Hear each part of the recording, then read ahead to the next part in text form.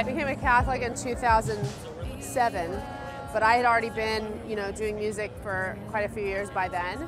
Um, so for me, I, I, I sort of see it looking back and see how I was, I sort of stumbled into this. But at the time, on it, frankly, I just didn't, I didn't have a handle on what discernment was. So it really was me just following what felt the most authentic to me.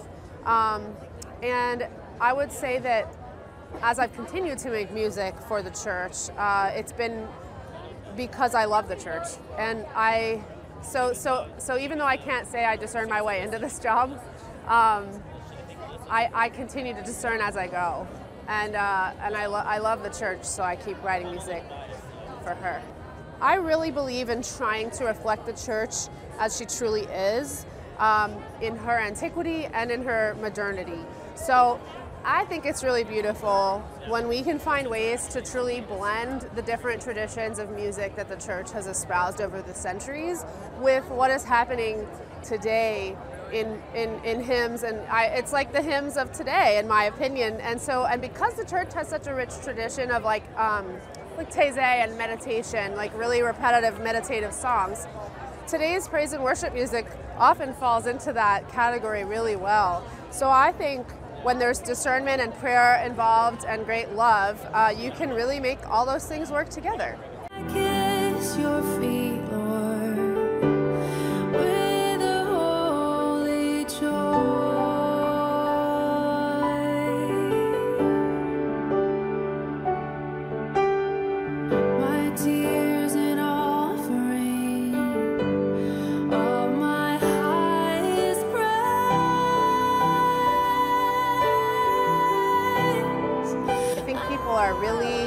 open-minded when especially because I'm doing praise and worship music that is a very uh, disarming thing for people who might not have really traditionally known that Catholics sing praise and worship or you know have charismatic uh, leanings even.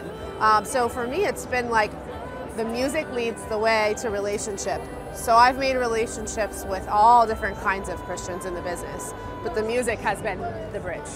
I often hear that what I do is very soothing and calming. So I get a lot of emails that are like, I used your music to give birth to my baby. I get that email all the time, uh, which I think is beautiful because I've had a baby and I know how sacred that moment is. Um, and a lot of people saying, you know, my kids go to sleep to your music, I go to sleep to your music. So I, I like to think that uh, the particular sort of small c charism I've been given is to provide and facilitate peace and calm for people um, in the midst of anxiety. So that seems to be what happens naturally, so I'm really trying to lean into that.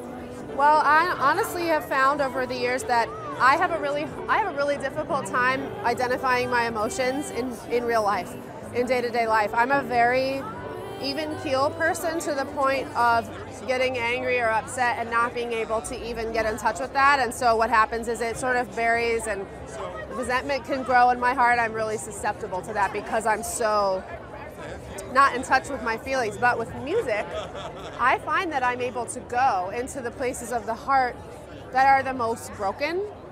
And so because of that, I feel completely myself and I start to experience illumination and healing in music that I don't really, I have a hard time accessing sitting at home praying on my knees without music.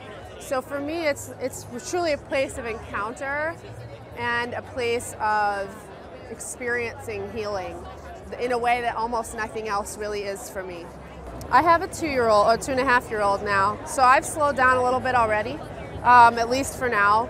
So I'm going to be focused in the next few years on staying home and making more music and not traveling so much because it's just really hard on my heart to be away from him so much um, and from my husband. And so um, my plans are to make more music in the future, but maybe travel a little less, stay home more.